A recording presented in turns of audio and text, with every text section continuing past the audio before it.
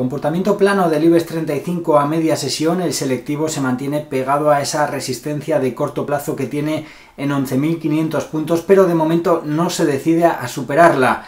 Recordamos que si logra superar este nivel de precios tendría abierta la puerta hasta esos máximos anuales que tiene cerca de 11.900 puntos. ¿Qué tiene que pasar a corto plazo para que el IBEX 35 supere esta resistencia de 11.500 puntos? Telefónica debería superar niveles de 13-30 euros según los analistas técnicos de Bolsa Manía y también haría falta la contribución del sector bancario. Vamos a ver qué ocurre de aquí al final de la sesión.